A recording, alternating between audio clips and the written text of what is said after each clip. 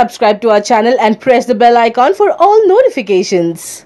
Superstar Mahesh Babu is currently busy with the last leg work of Maharshi and very soon he will be wrapping it. As April 25th is fixed as the release date, now he wants to focus on his upcoming films. There is no clarity with the Mahesh's next as the hero has undecided whether he will go with the Sukumar.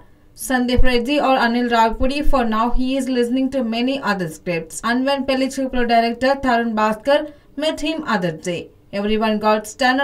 Tarun Bhaskar is said to have narrated a beautiful script to Mahesh Babu and the actor got quite excited about it. Some stated that this is a regarding a new age web series that will be produced by Mahesh on his own banner. But few are feeling that Mahesh Babu even asked the youngster to look into the possibility of making it as a film with him Mahesh Babu is getting ready to produce another web series titled Nannaku Prematho story writer Hussain Sha Kiran at the helm.